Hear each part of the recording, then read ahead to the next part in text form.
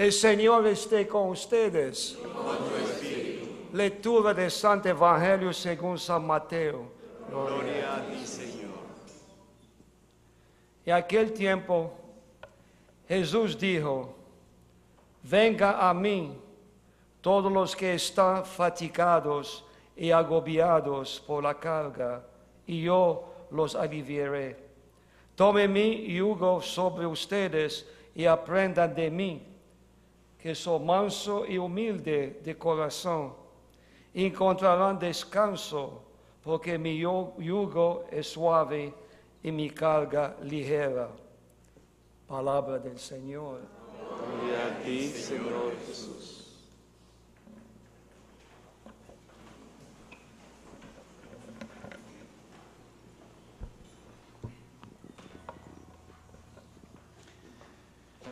En esta noche el Señor nos invita a meditar un poco sobre las promesas que Él ha hecho.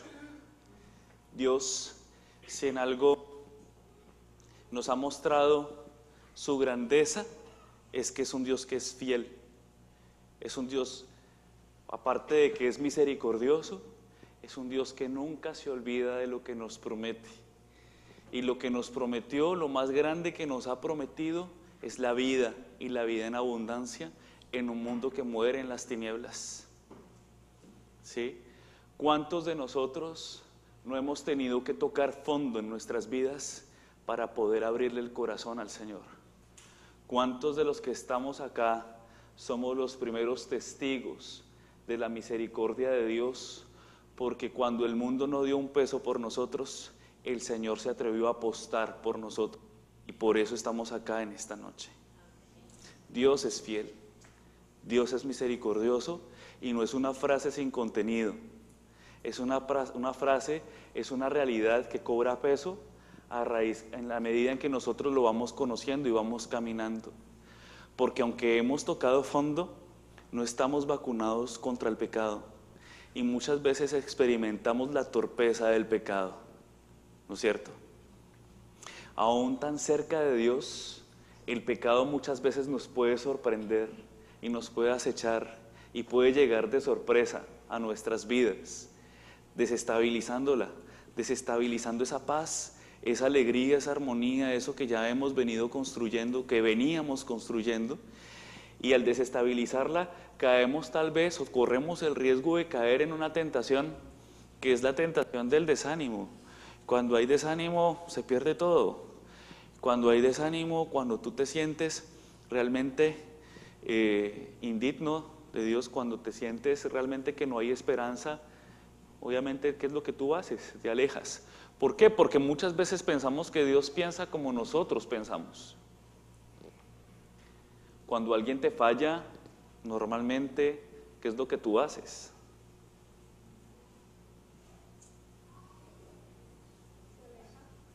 Tú te alejas, ¿no es cierto?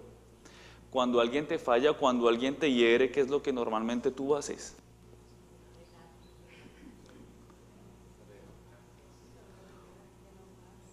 Uno se enoja, uno se enoja, uno juzga, uno se aleja, uno reclama, ¿sí? Uno es justiciero y pensamos que, claro, le fallamos a Dios, Dios va a reaccionar de la misma forma, ¿no? Si yo le fallo a Dios, Dios también se va a alejar, se va a enojar, me va a reclamar, no me va a perdonar. Y por eso muchos de nosotros, desanimados por la desgracia del pecado, no nos acercamos o no nos atrevemos a levantar nuestra mirada y mirar a Dios. Levantar nuestra mirada y decirle a Dios, aquí estoy una vez más, ¿no? Necesitado de tu misericordia. Es más, muchos de nosotros en momentos de nuestras vidas que abusamos de la misericordia de Dios, que abusamos, ¿no es cierto? Pero el Señor hoy en su palabra nos dice, vengan a mí los que están cansados y agobiados, que yo los aliviaré. El corazón de Dios es tan grande y gracias a Dios, el- gracias a Dios, gracias. Bendito sea, el corazón de Dios es tan distinto al nuestro, porque si Dios sintiera como nosotros sentimos, ninguno de nosotros, los que estamos en este momento aquí presentes, ¿sí? estaría en este momento aquí, tranquilo, sentado, escuchando la palabra de Dios. Bendito sea el hecho de tener un Dios que es distinto a nosotros en amor y en misericordia. Y que nos recuerda constantemente, vengan a mí los que están cansados y agobiados, que yo los aliviaré, que yo los aliviaré. Es ese Dios que cumple sus promesas y que es fiel, que tiene un gran defecto. Dios siendo Dios tiene un gran defecto. ¿Sí sabían que Dios tiene un gran defecto? Un gran defecto que nos conviene a nosotros, si somos astutos. En Dios, que Dios es olvidadizo. Dios olvida. Por eso a través de cada paso que damos con un corazón arrepentido, cuando venimos al sacramento de la confesión, que no es una cámara de torturas como muchos piensan que es, por eso le tienen miedo, ¿sí? sino que cuando nos damos cuenta y nos descubrimos que es un banquete de Pascua, disfrutamos de esa misericordia, de ese manantial de gracias y salimos felices de allí. ¿No? Salimos felices, salimos llenos y plenos de la misericordia de Dios. ¿No? Ese es Dios. Olvidadizo, olvidadizo para nuestros pecados, pero hay algo que Dios no olvida. ¿Y saben qué es lo que Dios no olvida? Cada esfuerzo, cada lucha, cada sacrificio, cada lágrima que usted derrama por querer ser mejor. Porque todos los que estamos aquí queremos ser mejores personas. Porque usted está aquí sentado porque quiere conocer más de Dios, porque usted está aquí sentado porque quiere quiere ser mejor persona para su familia y para el mundo, para la sociedad para las personas que lo rodean. Que muchas veces ese propósito no se realice por nuestra torpeza, no nos impide que nosotros no desandemos nuestros pasos mal dados y continuemos siempre buscando esa oportunidad que está vigente en el proyecto de Dios. ¿Saben qué es lo más bonito de esto? Que cuando usted siente que está llegando a la cima, se cae. esperanzador, ¿no? Lo que les estoy diciendo. Lo más hermoso de todo esto es que cuando usted siente que ya va a llegar, que ya la logró, ¡pum! Se resbaló y se cayó. ¿Y saben qué es lo más bonito de esto? Que usted vuelve a empezar. ¿Sí? Y que vuelva a empezar. Y a veces es agotador volver a lo mismo, volver al punto de partida. Pero cada vez que usted vuelve al punto de partida, se va dando cuenta de que en este caminar todo es gracia. ¿No es cierto? Usted ha sentido muchas veces como que ya sintió que ya. ¿Sí? Sintió que ya, ese mal genio que tanto me, me, atormentaba ya. Ya, y tuvo unas temporadas de, mejor dicho, en que era un dulcecito. ¿No? un dulcecito y todo el mundo lo felicitaba. No, miren cómo cambió, el Señor le sirvió, que le hicieron por allá en la iglesia. No, la gracia del Señor y eso nos alegra, ¿no? Que nos digan, uy, ya está como un dulcecito, ya no es la fiera que gritaba ahí en la casa, sino que es un dulcecito. Y resulta que de un momento a otro volvió a aparecer la fiera. Y cuando vuelve a aparecer la fiera, entonces normalmente siempre escuchamos ese discurso que te dice, pero mira, ¿de qué le sirvió todo el tiempo de estar allá en la iglesia? Pero el Señor hoy nos dice, vengan a mí todos los que estén cansados y agobiados, que yo los aliviaré. Porque el Señor nos lo recuerda, porque sabe que muchas veces vamos a tener que volver con esa fiera, agachar la cabeza y entregársela otra vez, volver a empezar de nuevo, volver a recomenzar y volver a reprender la marcha. Nosotros quisiéramos ya terminarla. Y no, Señor, no, señora. ¿Usted cree que la terminó? No, señor. ¿Que porque está aquí ya? ¿Que porque hizo un retiro ya la terminó? ¿Que porque se confesó ya la terminó? No. Mientras estemos aquí, la marcha sigue. el caminar sigue. ¿Sí? Eso se llama peregrinaje. Peregrinar en el Señor. Entonces, pues queridos hermanos, hoy es un momento para pensar en para pensar o más bien para descubrir el Dios que usted profesa. Ese Dios que va mucho más allá de sus limitaciones. Ese Dios que va mucho más allá de lo que usted cree que es Él. Es que usted, ustedes, ustedes y yo, aún se los puedo decir, no tenemos ni idea. No tenemos ni idea todavía hasta dónde puede llegar Dios. Ni idea. Tampoco nos corresponde saberlo, pero yo creo que no tengo ni idea. Hay un mensaje que me gusta mucho, que lo dio, dio la Santísima Virgen María a unos, a unos instrumentos en, en Medjugorje, en Bosnia, creo, que me impacta mucho, ¿no? La Reina La Paz, y una frasecita que me gusta mucho, no sé si ya la han escuchado y dicen, hijitos míos, si ustedes supieran cuánto os amo, lloraríais de alegría. Si ustedes supieran cuánto os amo, llorarías de alegría. ¿Sí? Pero hemos vuelto, cuando escuchamos el amor de Dios, lo hemos vuelto como una frase de cajón. Como una frase de cajón, que no toca ni conmueve mi vida. No la toca ni la conmueve. Usted puede venir aquí, no se trata tampoco que usted se va a poner a llorar,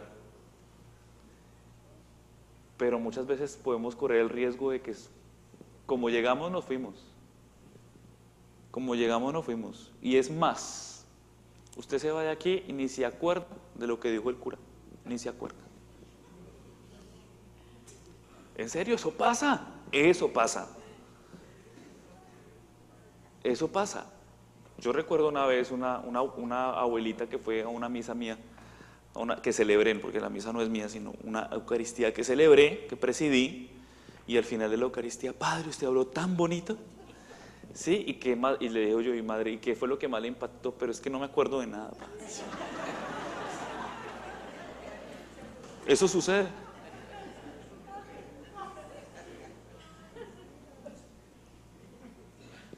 Sucede. ¿no? Hemos perdido como, podemos correr el riesgo de perder esa motivación de, descubrir lo novedoso. Cada día tiene algo nuevo, cada día tiene algo distinto. Miren que nuestra iglesia, la Eucaristía, tiene unos pasos, ¿no? Y ya no la sabemos en qué momento hay que sentarse, en qué momento hay que pararse, en qué momento hay que responder, en qué momento no hay que responder, en qué momento hay que, ¿sí? Y vamos haciendo el cálculo, ya más o menos yo recuerdo que cuando yo estaba jovencito más o menos decía, ya estamos en el momento del Padre Nuestro, yo creo que viene el momento de la paz, ya se va a acabar. ¿Sí? ¿Sí? Ya se va a acabar. Y ustedes se ríen porque les ha pasado.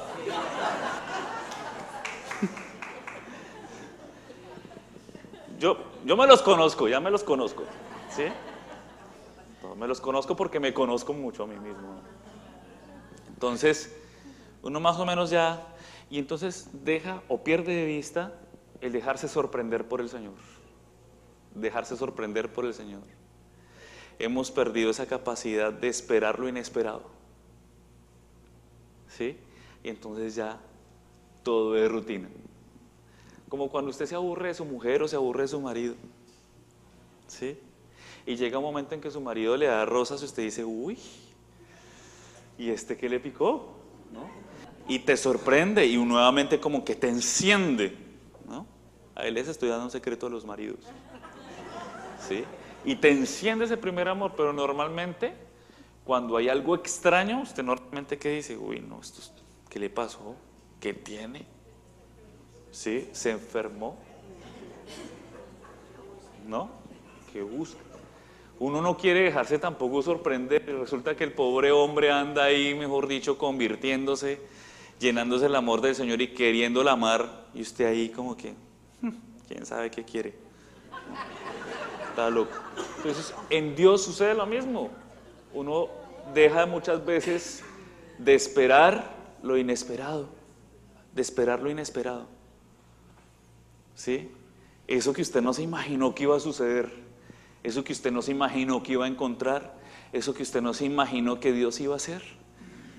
Eso muchas veces no lo experimenta, no lo ha experimentado simplemente porque usted no se ha dispuesto a eso, a dejarse sorprender. A dejarse sorprender. Y entonces vienen los discursos, ¿dónde está otra vez? ¿Dónde está Dios? ¿Por qué Dios a mí no me escucha? ¿Por qué la vecina sí lo escucha y yo no lo escucho? ¿Por qué sutanito, fulanito sí tienen esta experiencia y yo no la tengo? Y empezamos y es bueno evaluar, pensar, reflexionar si nosotros hemos estado como, porque Dios siempre habla, pero si nosotros hemos estado atentos o nos hemos dejado llenar por la indiferencia de la gente buena. Porque si en algo daña a este mundo no son los malos, sino los indiferentes, los que no se sienten protagonistas y los que no se sienten llamados a aportar, a apostar por un cambio.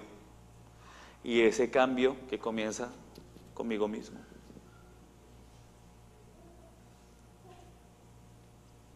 Al mundo no lo hace malo los malos, lo hacen malo los buenos indiferentes, que se quedan sentados en la sala de su casa rascándose el ombligo sin sentir la necesidad de hacer algo por la vida, por los demás o por ellos mismos.